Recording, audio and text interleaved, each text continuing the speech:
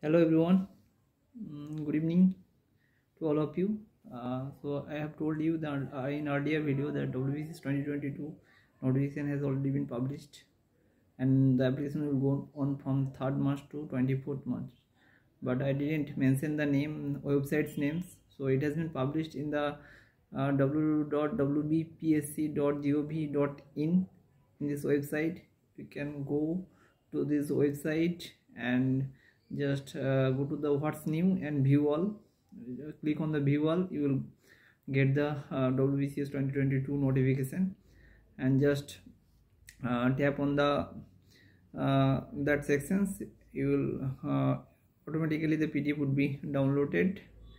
And you can see all the information there. Okay.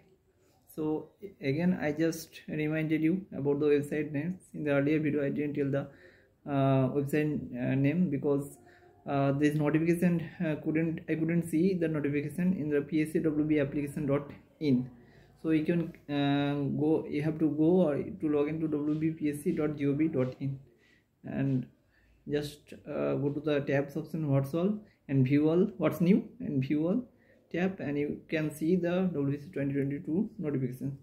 So if you like my video just uh, uh, hit the like button and subscribe so please do please do subscribe thank you very much প্রত্যেককে ধন্যবাদ